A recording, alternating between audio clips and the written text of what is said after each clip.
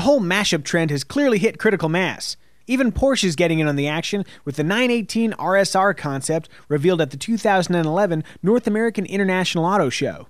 In a Grey Album like amalgamation, the 918 RSR blends a coupified interpretation of the previously introduced 918 Spyder plug in hybrid concept with the powertrain found in the 911 GT3R hybrid.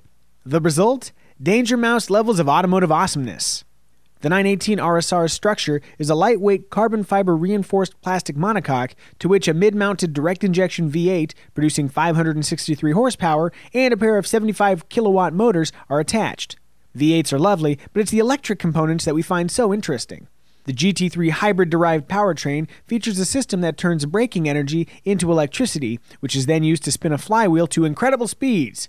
When the driver wants, they can push a button, turning the kinetic energy of the flywheel back into electricity, delivering up to 8 seconds of extra power to the front wheels. It all works a bit like the turbo boost feature Michael Knight enjoyed during the later seasons of Knight Rider.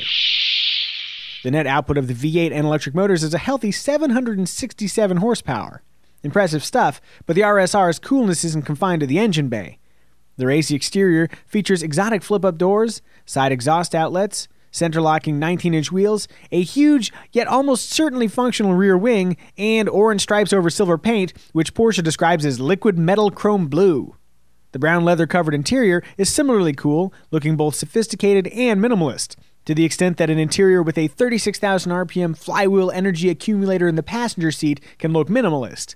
Porsche has vowed to actually build the 918 Spyder concept in small numbers, so we're holding out hope that the 918 RSR might just make its way from the racetrack to the road.